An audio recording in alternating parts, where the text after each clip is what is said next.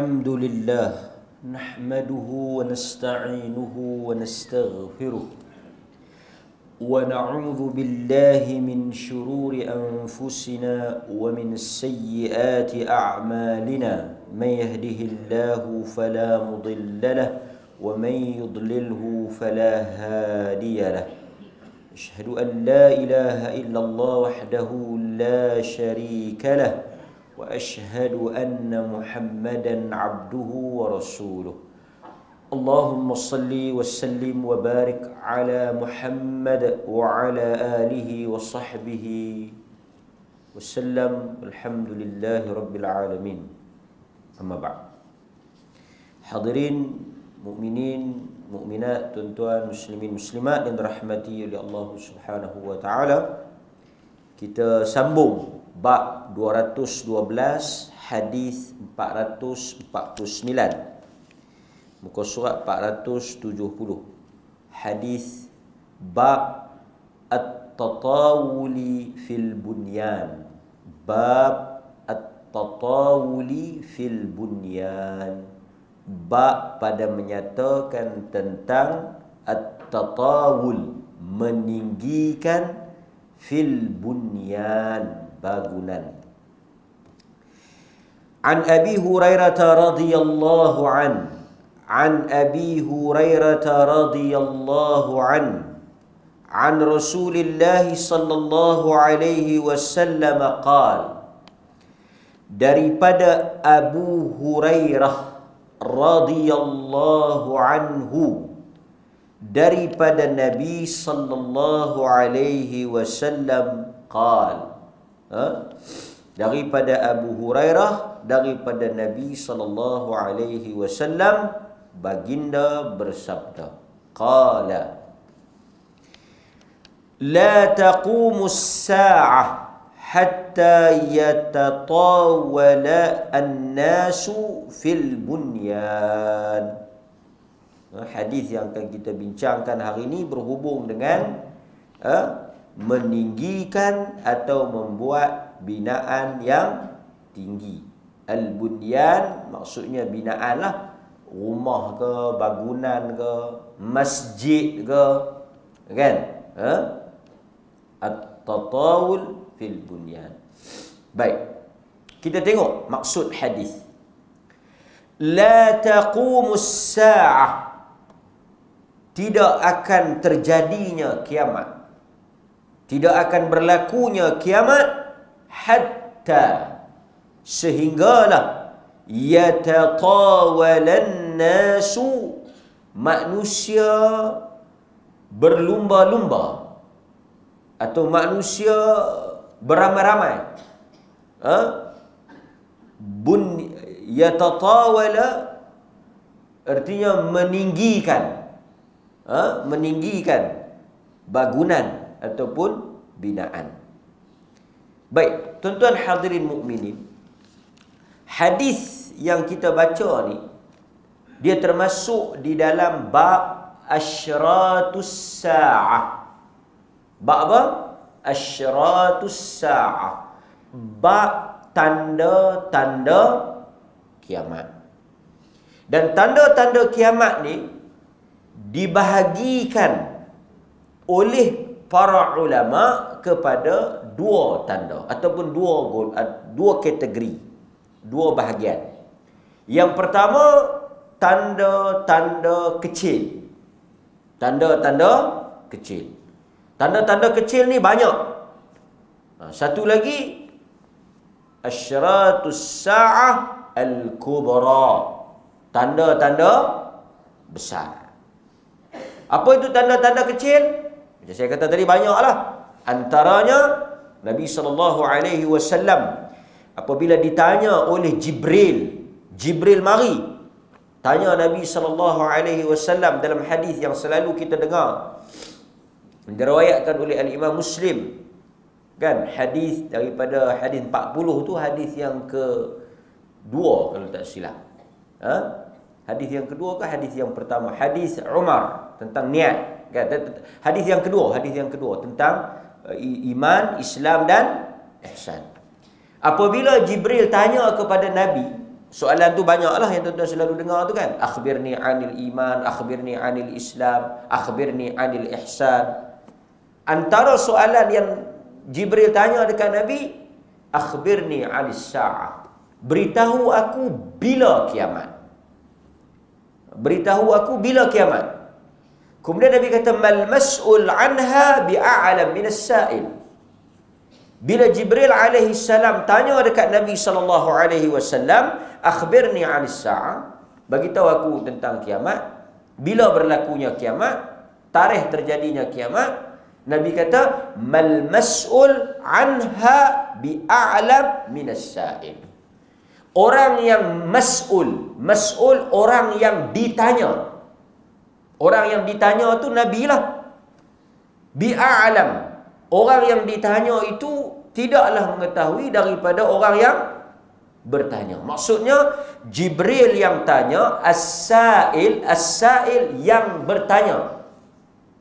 Penanya, penanya. Kan? Dia penanya ni penyoal lah. Penyoal. Okey, penyoal. Penanya lagi jadi macam nanya pula kan. Penyoal. As-Sa'il, Jibril yang tanya tu dan Mas'ul, Nabi yang ditanya, dua-dua tak tahu. Sebab itu, antara ciri-ciri hadis palsu. Maknanya tuan-tuan bila dengar hadis tu, tuan-tuan boleh tahu dah ini antara tanda hadis palsu iaitu hadis-hadis yang menyebut tentang tarikh kiamat. Mana-mana hadis yang menyebut tentang tarikh kiamat, hadis tersebut palsu. Hadis tersebut palsu. Kerana Nabi tidak mengetahui tentang tarikh kiamat dan tak dinyatakan bila berlakunya kiamat. Tiba-tiba mari riwayat hadis habaq kiamat berlaku pada tarikh sekian, pada bulan sekian, pada tahun sekian, maka hadis itu ber, ber, besar ataupun memanglah boleh di dihukum ataupun di dikategorikan sebagai hadis yang palsu.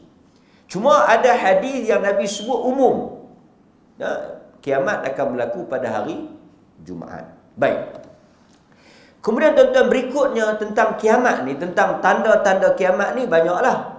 Bila uh, bila Nabi sallallahu alaihi wasallam tak boleh bagi tahu bila berlakunya kiamat, dia tak tahu tarikh kiamat. Jibril tanya, "Akhbirni an amaratiha. Beritahu aku tentang tanda-tandanya. Bila kita bila Nabi kata tak tahu tentang tarikh kejadian kiamat, berlakunya kiamat, Jibril kata, bagi tahu aku tentang tanda kiamat.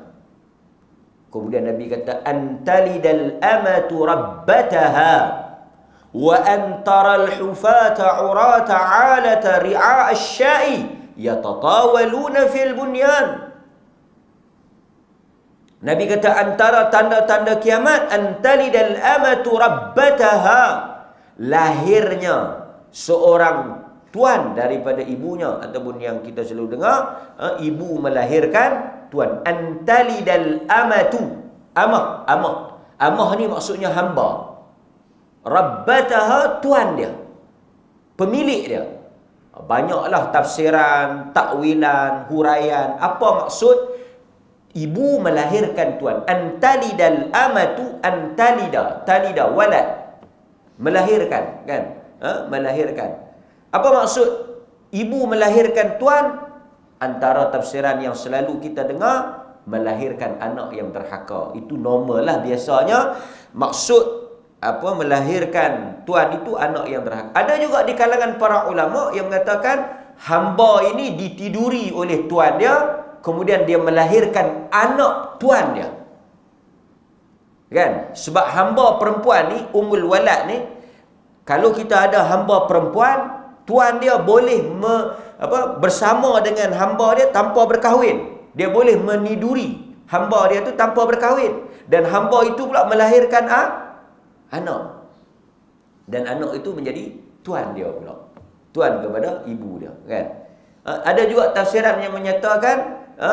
banyaklah ada yang katakan hamba ni dijual akhirnya dia bebas dia merdeka dia jadi hamba dia jadi dia jadi merdeka dia jadi tuan ha, mak dia pula mai mai duduk di bawah dia Jadi banyak tafsiran tentang antaridal amatu rabbata. Kemudian Nabi kata wa antaral hufa urah ala.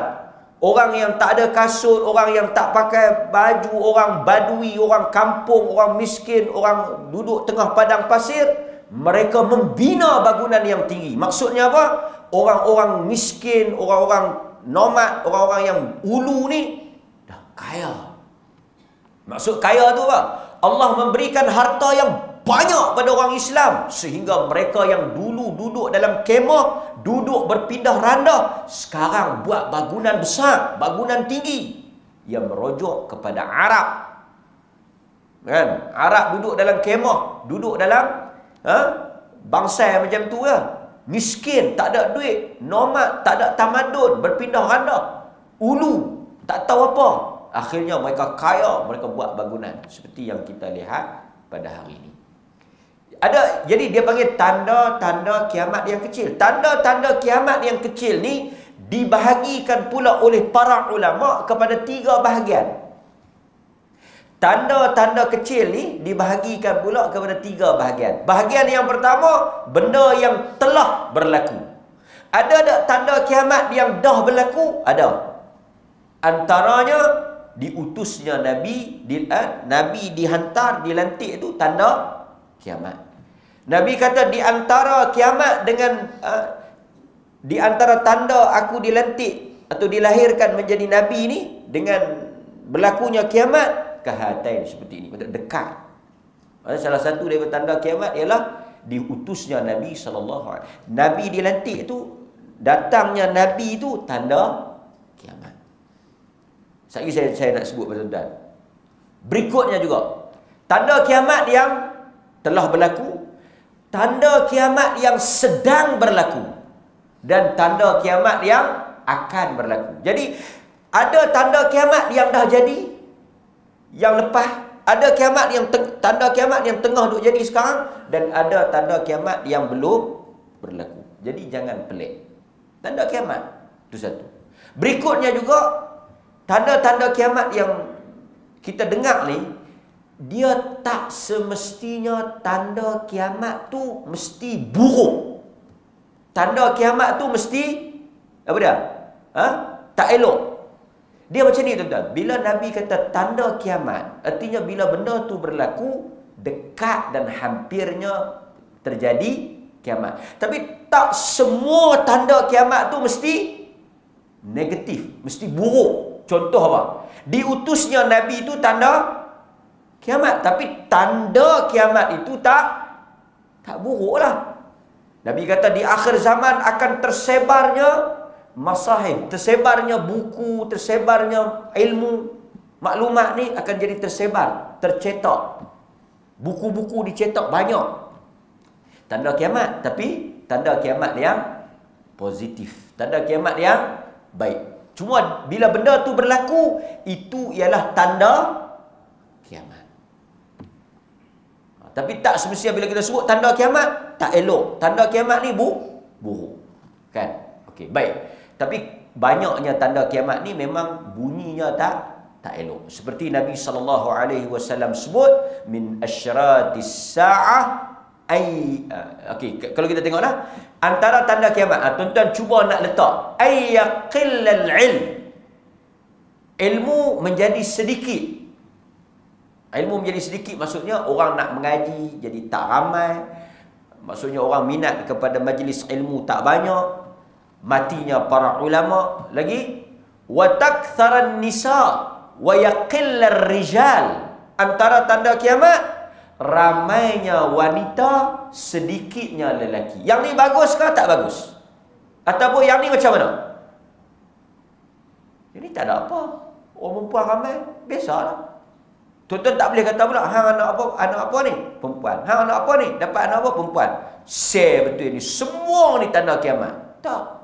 Dia tak ada kaitan. Artinya akhir zaman normalnya akan berlaku apa? Bila dekatnya dengan kiamat, wanita menjadi ramai. Wanita menjadi ramai ni adakah satu balak? Adakah satu benda yang tak elok? Adakah satu benda yang negatif? Tak lah. Cuma nak, nak habaknya bila dekat dengan kiamat, wanita akan jadi ramai, lelaki akan jadi sedikit. Satu lelaki, lima puluh wanita. Nisbah dia, satu lelaki bersamaan dengan lima puluh wanita. Jadi bila kita tengok kadar kelahiran wanita ramai, kadar kelahiran bayi lelaki sedikit, dan dunia ni dipenuhi oleh orang ramai, sehingga orang lelaki jadi pupus. Kadar apa? apa ni pertumbuhan lelaki ni jadi rendah itu tanda kiamat. Tapi adakah dia buruk? Tak buruk lah. Tak ada apa. Biasalah. Kan? Ha? Baik. Dan kita tak bolehlah pandang ramainya wanita ni satu musibah atau bala. Kan? Dia satu benda yang normal lah.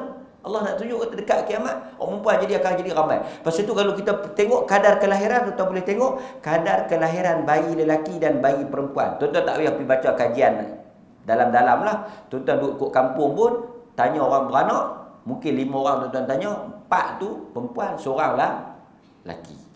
Ha, kan? Maksudnya, tanda kiamat. Tapi tak payah duduk takut lah.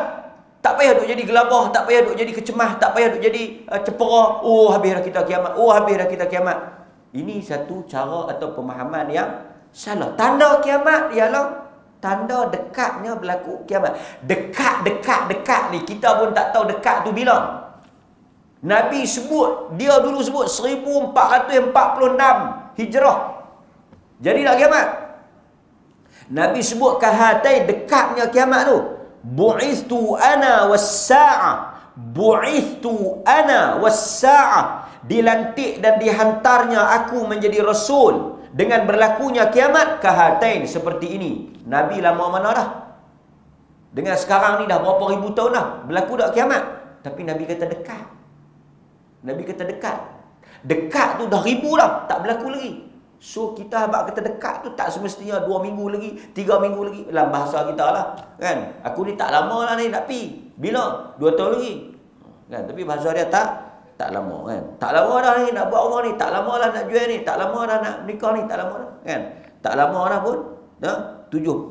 Apa-apa? Sepuluh Perdana Menteri lah. Tak jadi-jadi lagi kan. Contoh. Maksudnya dekat tu kita tak kita tak tahu. Kan? Baik hadirin mukminin. So, kemudian itu dan dia ada tanda-tanda besar asyratus saah al-kubra. Tanda-tanda besar apa? Ha, tanda kecil ni banyak, beratus tanda kecil ni. Tanda besar tak banyak. Tanda besar ni Dajjal, Isa, Ya'jud, Ma'jud, Dabah, angin, apa lagi? Ha? Apa tanda besar lagi? Matahari timur. Apa? Terbit daripada barat. Apa lagi? Tanda-tanda besar. Tanda-tanda besar yang Nabi sebut tu kan? Ha? Dabah, Ya'jud, Ma'jud, Dajjal, turunnya Nabi Isa, keluarnya Mahdi. Ha, kan? Terbitnya matahari daripada barat. Ini semua tanda tanda besar. Ha? Apa maksud tanda besar? Bila keluarnya tanda besar ni, ha? maksudnya itu betul-betul sudah diambang ke kehancuran kan? Baik. Kemudian kita tengok pula dalam hadis-hadis yang lain Nabi sallallahu alaihi wasallam sebut dengan lebih jelas. Nabi kata wa idza tatawala al-bahmi fil bunyan fadhaka min asyratiha apabila kamu melihat ri'aul bahmi pengembala kambing. Yakni siapa dia pengembala kambing ni? Dia merujuk kepada Arab Badui. Kan?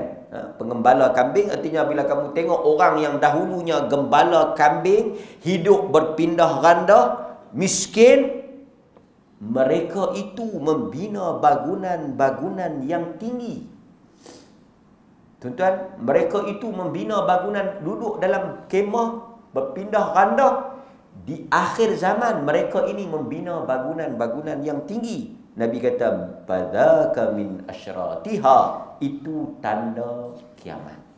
Itu dalam hadis yang diriwayatkan oleh ha, al-Imam Muslim.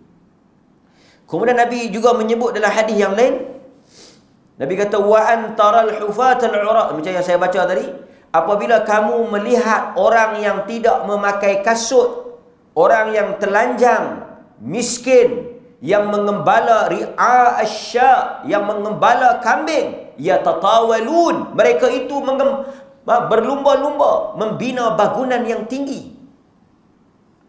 Hadis kita ni pagi ni dia bukan nak cerita tanda kiamat. Sat lagi bawa kita pi. Kalau tuan-tuan ingat dua tiga minggu yang terakhir ni tajuk kita di bawah bab apa? Bab apa? Ha apa tema kita? Ha, tu dia pagi-pagi ni dia duduk menganga, dia lena, dia balik. Tema apa? Tema perbincangan kita 2 3 minggu ni bukan tajuk membina bangunan, bukan tajuk kiamat, tajuk apa? Temanya ialah nek apa apa dia ni minggu lepas buat apa rumah besar kan renovation Poin dia apa? Jangan membazir. La haula wala quwwata illa billahil aliyyil azim. Jangan membazir. Dalam duk tajuk jangan membazir, jangan membazir, jangan membazir. Jangan buat rumah besar. Tak apa buat rumah besar, tak salah kalau tak membazir, tak berbangga-bangga. Tiba-tiba dalam tajuk, tema, tuan-tuan kena ingat tema. Dalam tema jangan membazir, dia mai kepada bangunan yang dia nak pergi ke mana ni? Dia bukan nak cerita tanda kiamat. Dia nak cerita apa? Bak, buat bangunan tinggi-tinggi ni hukum dia apa? Dan selalunya buat bangunan yang tinggi ni, dia akan pergi kepada dua perangai. Satu perangai membazir, satu lagi perangai berbangga-bangga, bermegah-megah. Dia nak pergi ke situ. Bila kita ingat tema perbahasan, kita ingat tajuk perbahasan, maka barulah kita faham hadis tu dia nak ke mana. Tajuk apa ni yang kita nak bincang ni? Cuma dia sebut tentang tanda kiamat, kita bahas dulu tanda kiamat. Tapi akhirnya perbincangan kita akan pi kepada apa? Tanda kiamat, orang miskin buat bangunan tinggi. Dia nak habak apa? Dia nak habak kata jangan membazir dalam membina bangunan. Dan manusia ni bila dia dapat duit sikit bila dia senang sikit dia meloncat tu lebih. Sebab itu kalau tuan-tuan tengok orang yang betul-betul kaya orang yang betul-betul kaya low profile. Dia normal saja. Orang yang duit banyak ni dia kita tengok dia macam tak ada macam tak ada apa biasa ya so nabi sebut ni Nabi kata, aku tidak bimbang kepada kamu tentang kemiskinan. Ma'aksya alaikumul faqra. Tapi yang aku takut kepada kamu, kamu semua ni miskin. Tuhan, dalam hadis Abu Darda, Nabi kata, Tuhan akan buka dunia ni kepada orang Islam seperti mana hujan yang turun lebat. Maksudnya, akhir zaman, orang Islam akan jadi kaya. Dan tuan-tuan, yang bahayanya apa? Orang miskin terkejut jadi kaya. Yang ni yang bahaya. Sebab tu tuan-tuan boleh tengok dalam apa dia? Dalam media sosial ni yang duk tunjuk kekayaan, yang duk berbangga-bangga dengan kekayaan ni yang baru kemarin dulu kaya. Yang nak beli cincin tunjuk, beli rumah besar tunjuk, dia terkejut. Dia tak pernah kaya, dia terkejut. Orang kaya biasa ya macam tu orang kaya. Kan? Ha? Orang kaya. Biasa aja orang kaya betul-betul kaya lah. Yang dia jadi bila dia buat macam tu, dia dia berbangga-bangga. Ha, yang nak riak sangat, yang nak yang nak apa? Yang nak bermewah-mewahan sangat ni siapa dia? Ha? Orang yang baru kaya. Dan Nabi kata, apa yang aku takut? Aku takut bila Tuhan buka kekayaan kepada kamu, kamu yang hidup, Arab yang hiduplah kemiskinan. Tuan-tuan tengok Arab lah. Hidup padang pasir, miskin, melarat, merempak. Kemudian eh, jumpa minyak sikit, ada duit sikit, tengok. Dia punya terkejut lebih pada apa yang kita duk tengok. Ha, itu yang Nabi bimbang. Manusia ni bila dia tak ada, bila dia tak pernah ada, tiba-tiba bila dia berada sikit, dia mula hanyut. Itu yang Nabi takut. Dalam hadis yang diriwayatkan oleh Abu Darda, ha? Nabi telah ingatkan pada sahabat. Kata Abu Darda, "Kharaja alaina Rasulullah sallallahu alaihi wasallam wa nahnu nadhkuru al-faqra wa natakhawwafuhu wa natakhawwafuhu." Faqala satu hari kata Abu Darda ni Abu Darda cerita Abu Darda radhiyallahu an Dia kata kharaja alaina Rasulullah sallallahu alaihi wasallam. Nabi telah keluar bertemu dengan kami pada satu hari. Wa nahnu nadhkurul faqra wa natakhawwafuhu. Dan kami duk bincang ish aku takutlah kalau miskin aku takutlah kalau duit tak ada. Ni Abu Darda di kalangan para sahabat depa duk bincang isu tentang kemiskinan. Dan mereka takut. Kata ish kita kalau tak ada duit ni kita kalau miskin ni kita kalau apa ni. Itu depa punya tajuk depa wa natakhawwafuhu. Dan kami takut kami takut ni kalau kita miskin ni macam mana kita tak ada duit ni habis duit kita ni tak ada dah ni habislah tak ada. Apa kata Nabi? Al-faqra takhafun. Nabi kata Al-faqra takhafun. Al-faqra takhafun. Adakah kamu takut miskin? Kita tak mau lah miskin Pasal itu kita doa. Apa dia? Kita doa daripada kemiskinan kan? Tapi Nabi kata hampa takut miskin Al-faqra takhafun. Nabi kata Walladhi nafsi biyadih La tus la tusabbanna alaikum dunya sabba hatta la yudhiga qalba ahadikum idza ghatan illa hiya. Nabi kata jangan risau. Ha? Nabi kata wallah demi Allah la tusabbanna alaikumud dunya. Allah taala akan menurunkan huj, apa ni apa harta kekayaan ke ni nabi sebut ni. Nabi kata Allah. Nabi sebut bila? 1400 tahun lepas. 1500 tahun lepas. Nabi kata Allah akan membuka kepada orang Islam ni harta kekayaan kesenangan seperti mana dia menurunkan hujan yang lebat ke atas dunia. Dan kata nabi ha ni tabiat orang kaya ni. Orang bukan kaya. Tabiat orang yang tak ada tiba-tiba dia kaya. Orang yang tuan perhatilah nabi sebut dah. Orang yang asalnya dia miskin dia tak ada apa lepas tu dia kaya. Tengok dia punya perangai. Nabi kata la yudhira qalba ahadikum idagatan ilahiyah. Ketika mana Allah memberikan kekayaan, Allah membuka kesenangan, Allah melimpahkan kepadanya dunia, dia telah sesat, tergelincir dan telah terseleweng, hanyut dan tidak ada yang menyeleweng dan menghanyutkan dia daripada jalan yang benar melainkan harta yang dia baru dapat tu. Pasal itu Nabi kata ma akhsha alaikumul faqra aku tidak takut miskin. Pasal orang miskin, banyak benda dia tak boleh buat. Dan selalunya orang miskin ni, kebanyakannya insaf. Maksudnya, kebanyakan orang miskin ni, pertama dia tak boleh nak buat apalah. Dia nak buat jahat pun tak boleh. Dia nak berpoya-poya pun tak boleh. Dia nak, ah, kata apa, tak boleh lah pasal dia miskin. Tapi, kalau dia kaya, macam Nabi kata, dia hanyut. Ha? Dia hanyut. Ini Nabi sebut Kan? Sebab itu dalam hadis ni Nabi kata kalau kamu tengok orang yang ha, membina bangunan yang tinggi itu asalnya dia miskin itu antara ha, tanda-tanda kiamat.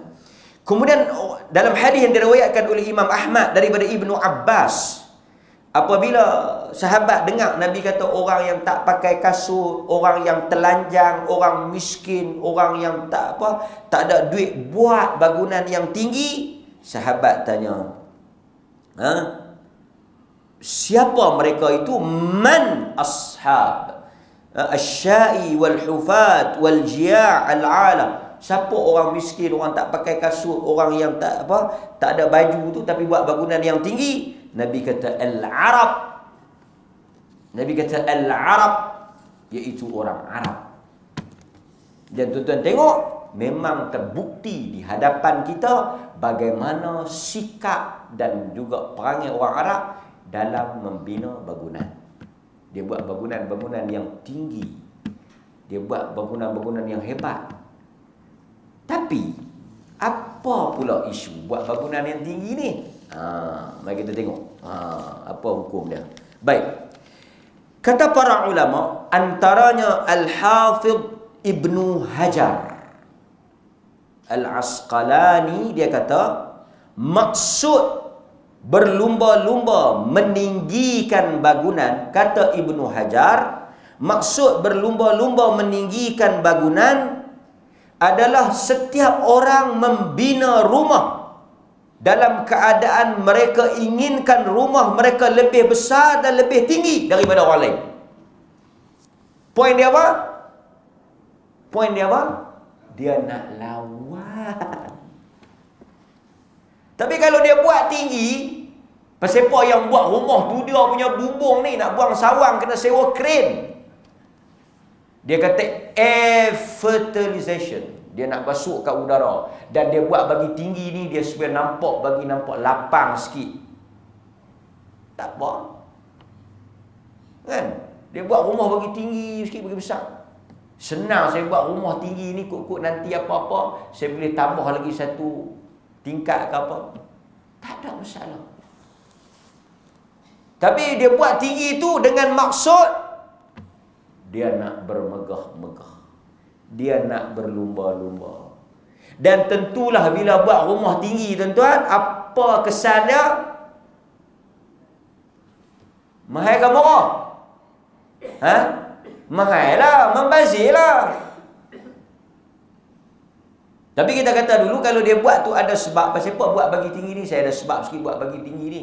Kan? tak apa. Tapi poin dia tuan-tuan, kalau siapa yang buat dan tentulah orang buat rumah besar-besar ni, bukan semua.